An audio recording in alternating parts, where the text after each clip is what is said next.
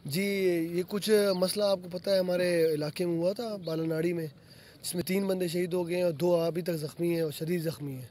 तो इसके बारे में कुछ भी एक्शन नहीं लिया गया है, ना डीसी के हिसाब से, ना एसपी की तरफ़ से, ना ऊपर किसी इंतज़ामिया ने कोई एक्शन लिया। तो आज जो अवान बरदरी ने ये ब्लॉकेज का जो है, आज ऐलान किया था तो हमारी जो भी इलाके की बरदरी है, हिंदुस्तान है, दूसरे हमारे साथ जो भी हमारे तावन हैं, जो भी हमारे वोटर्स हैं, उन सबने यही डिसाइड किया कि आज जाके रास्ता बंद करेंगे।